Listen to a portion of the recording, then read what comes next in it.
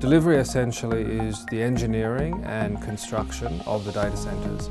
So we take the designs, our concept designs, and we turn it into the physical product that our customers can then migrate their equipment into. Pretty much we work with every single team here in the business, our customer team, our sales team, legal, with procurement, with finance, with real estate. On a daily basis, we have project managers, we have engineers, mechanical, electrical, uh, we have control specialists, we have commissioning specialists, so we're really a diverse and wide team. The team that's now looking at the research and development, so they're out there looking at all new products, new technologies, things that aren't necessarily mainstream within the data center world, and they're looking at how do we adapt those or how can we further develop them and integrate that into the DCS model.